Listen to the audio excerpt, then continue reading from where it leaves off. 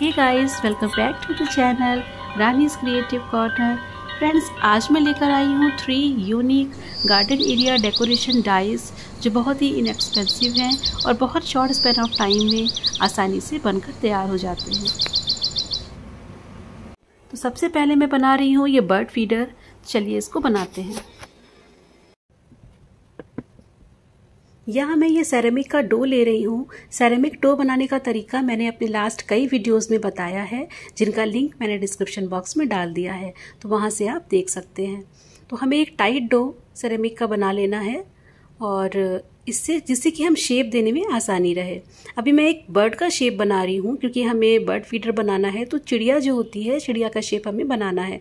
थोड़ा सा पानी लगाते जाइए और बहुत आसानी से इसको चिड़िया का शेप दे दीजिए।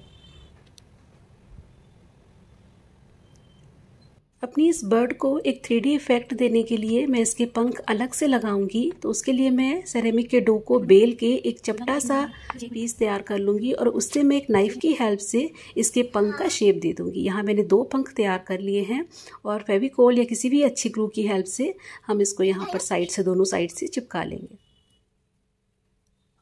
और थोड़ा सा पानी लगा के हम इसको एक बैटर शेप में ले आएँगे।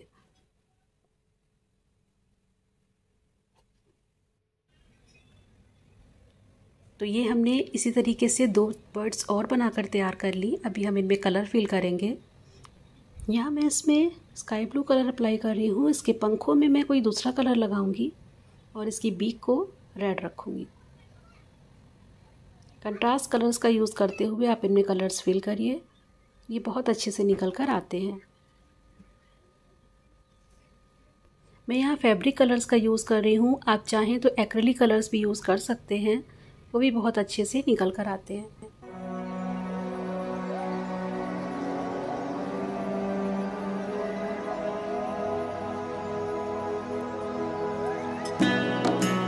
यहाँ मैं अपनी इन ट्विटी बर्ड्स को थोड़ा और सुंदर बनाने के लिए इनके पंखों में थोड़ी सी डिटेलिंग कर रही हूँ।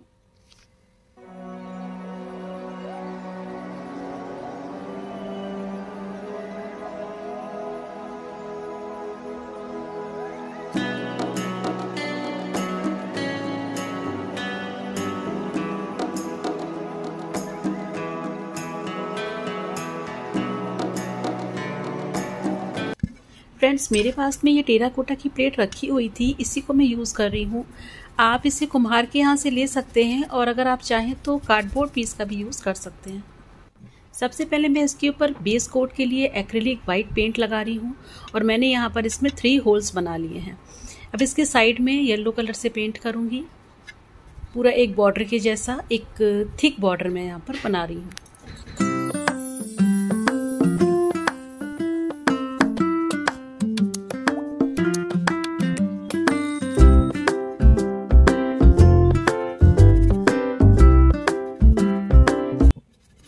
सेंटर के एरिया को पेंट करने के लिए मैंने यहाँ पर ग्रीन कलर का यूज़ किया है।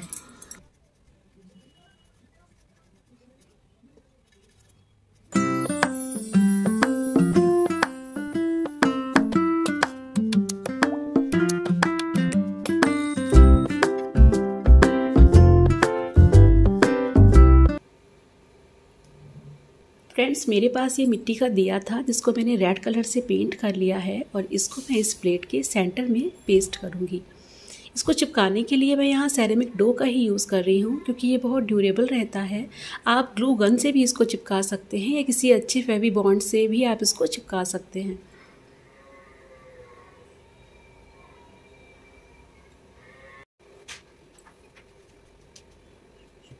अब बारी आती है हमारी बर्ड्स को चिपकाने की। और इनको इसमें पेस्ट करने के लिए फिर वही मैं सेम मेथड यूज़ कर रही हूँ। सेरेमिक डो से ही मैं इन बर्ड्स को ट्वीटी बर्ड्स को इस प्लेट पे चिपकाऊँगी। इस तरह से हमें तीनों बर्ड्स को इसमें लगा देना है।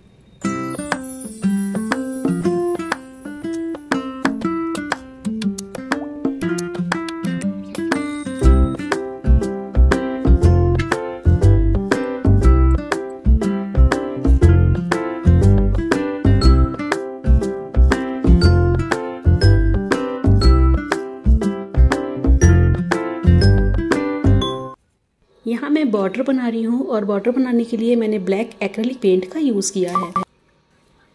फ्रेंड्स, मैंने पहले से ही सैरामिक डो से कुछ बीड्स बना के रख लिए थे और उनको मैंने ब्लैक कलर से पेंट कर लिया था। अभी मैं सुतली से सुतली में उन मोतियों को डालकर, तीनों ही जो मैंने होल बनाए हैं, उनसे इस सुतलियों को निकाल कर बाँध लूँगी, जिससे कि हम अपने इस बर्ड फीडर को हैंग कर सकें।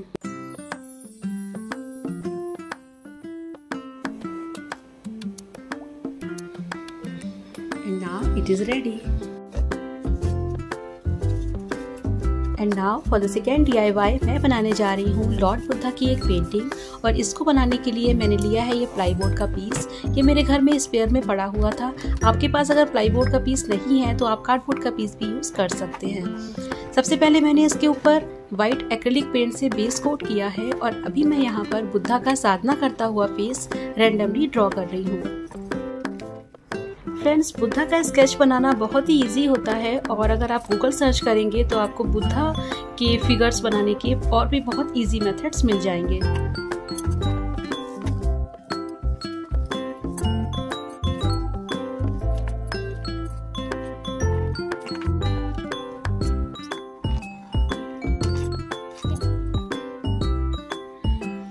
अब मैं करूँगी इसको पेंट पेंट करने के लिए मैंने ब्लू कलर में वाइट कलर को मिलाकर थोड़ा सा लाइट ब्लू का शेड बनाया है और इससे मैं इस बुद्धा के फेस को पूरा ही पेंट करूँगी.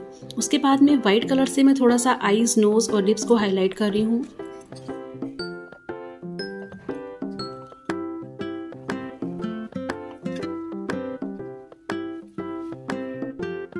देखिए फ्रेंड्स मैं बिल्कुल भी ट्रेंड पेंटर नहीं हूँ। बट फिर भी मैं किसी भी चीज़ को पूरे कॉन्फिडेंस के साथ बनाती हूँ और अपने घर को डेकोरेट करती हूँ। अगर आप मेरी पेंटिंग्स को माइन्यूटली ऑब्ज़र्व करेंगे तो आपको इसमें बहुत सारी कमियाँ दिखाई पड़ेंगी। बट जो मेरा पर्पज़ है डेकोरेट करने का मेरे घर को, वो मेरा सॉल्व हो जाता है क्योंकि मैं जब किसी भी चीज़ को बनाकर अपने घर में लगाती हूँ ना तो डेफिनेटली बहुत सुंदर लगती है। बिकॉज़ मैंने कहीं पढ़ा था कि lack of confidence is the biggest problem of an artist तो आप अगर नॉन पेंटर हैं, फिर भी आप पूरे कॉन्फिडेंस के साथ जो भी आप पेंट करके अपने घर में लगाना चाहते हैं, आप लगाइए. बिकॉज़ ये आपका घर है, आप एटलीस्ट वहाँ तो कुछ भी अपने मन से लगा ही सकते हैं वेदर इट इज़ परफेक्ट और नॉट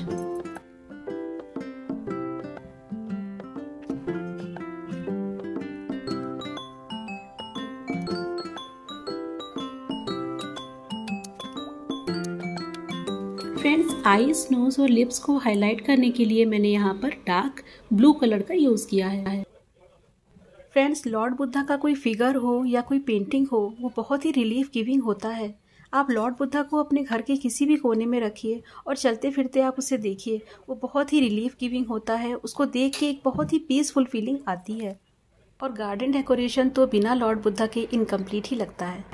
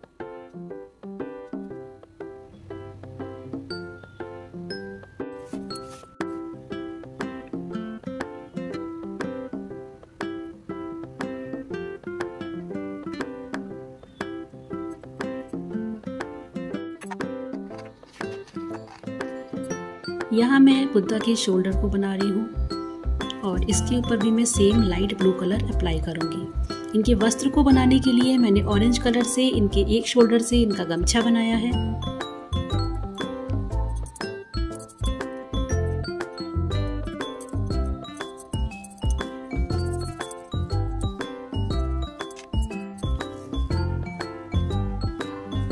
यहाँ जो हमारा ये वाइट बैकग्राउंड है, इसको मैं डार्क ग्रीन कलर से पेंट कर दूँगी।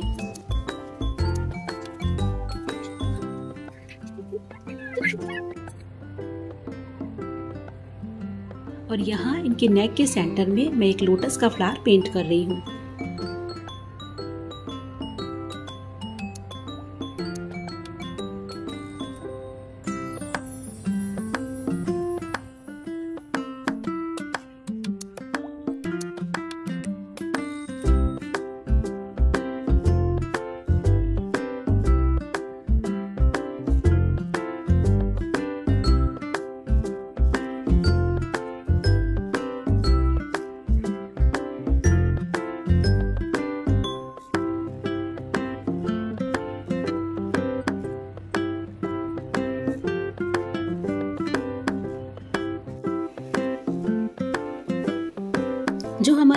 प्लेन ग्रीन बैकग्राउंड था। इसके ऊपर मैंने येलो कलर से लीव्स बनाई हैं और उनके ऊपर डार्क ग्रीन कलर से डिटेलिंग करी है। And now our Buddha is complete और थर्ड DIY के लिए मैं एक बेल बना रही हूँ।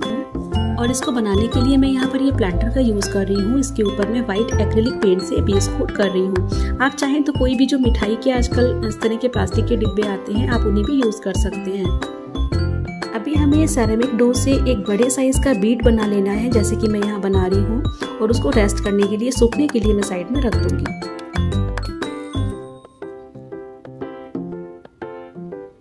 अभी हमारा ये बीट सूख चुका है तो अब मैं इसके ऊपर ब्लैक एक्रेलिक पेंट से पेंट कर रही हूँ। पेंट करने के बाद हम इसे भी सूखने के लिए छोड़ेंगे। अभी जो हमने ये बॉक्स को वाइट कलर से पेंट करके रखा था, ये सूख गया है। अब हम इसके ऊपर कलर लगाएँगे। यहाँ मैं ऑरेंज कलर से ऊपर एक स्ट्राइप के जैसे पेंट कर रही हूँ और इस बॉक्स में हमें डिफरेंट डिफरेंट कलर्स की स्ट्राइप ही बनानी है।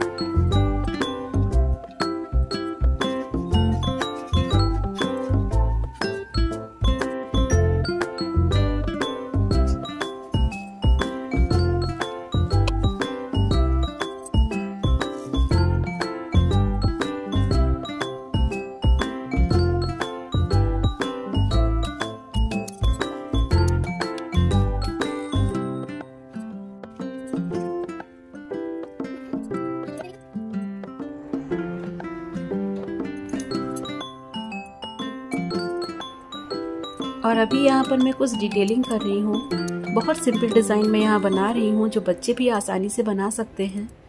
और हमारी ये बैल इन ईजीएस्ट डिज़ाइन से ही बहुत सुंदर लगने वाली है। बस मैं यहाँ पर डॉट्स रख रही हूँ और यहाँ पर मैं कुछ स्लांटिंग लाइंस पेंट कर रही हूँ। और इसी तरीके से हमें alternative dots and slanting lines dots and slanting lines बनाते जाना है। नॉट जस्ट सी गाइस ये अभी से ही कितना सुंदर लगने लगा है। अभी मैं इसके ऊपर एक क्लियर वार्निश का एक कोट लगा दूँगी और इसके बाद जो हमने ये बड़ा सा एक बीट बनाया था, इसको मैं एक सुतली में या किसी रस, पतली रस्सी में डालकर नॉट लगा लूँगी और अब मैं अपने इस बेल के अंदर से इसको एक होल करके और उसके अंदर से इसको पिरो दूँगी।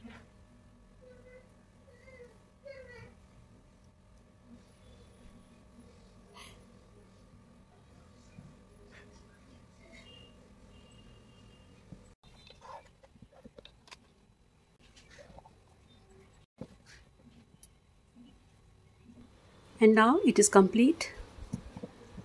And here is the final view